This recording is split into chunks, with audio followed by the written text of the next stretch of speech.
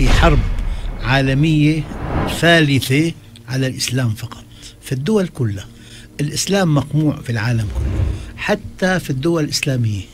لماذا؟ لما أنت قمعت المبادئ والقيم عندك جيل متفلت صار. بقدر ما بتقمع الدين في تفلت بصير. بالعكس بصير تفلت يعني شيء كان كبير صار ما له قيمة عند الناس. فموضوع الأمة وثقافة الأمة ودين الأمة مش شغلة سهلة. مليارا مسلم نحن في, في الأرض. نحتل أكبر موقع في العالم استراتيجي. نملك نصف ثروات الأرض. ولأننا لا نطبق هذا المنهج الإلهي نحن أفقر دول. وبأسنا بيننا. والغرب يتفرج علينا وعلى صراعاتنا. حينما هان أمر الله علينا هن على الله. هي حقيقة خطيرة جدا. أنا لا أصدق أن يسمى المسلم مسلما إذا كان فكره في واد وعمله في واد.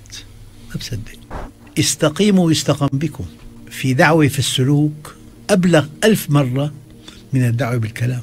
المؤمن مستقيم في حركته في بيته في عمله بكسب ماله بإنفاق ماله بلقاءاته بسهراته بنزهاته بعطاءاته وفق المنهج. فالمسلم قضية نموذج قضية شخصية فذة محبوبة متواضعة كريمة حليمة. الإسلام أخلاق.